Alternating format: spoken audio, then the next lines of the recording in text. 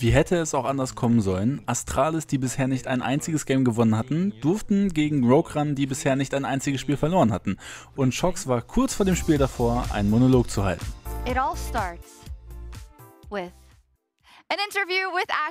Naja, aber das Spiel war ein ganz klarer und verdienter Sieg von Astralis. Zwar hat Astralis das Game fast weggeschmissen, aber im Endeffekt war Rogue viel zu cocky und hat keine smarten Entscheidungen getroffen und so verliert man dann das Game gegen das Meme-Team Last Astralis.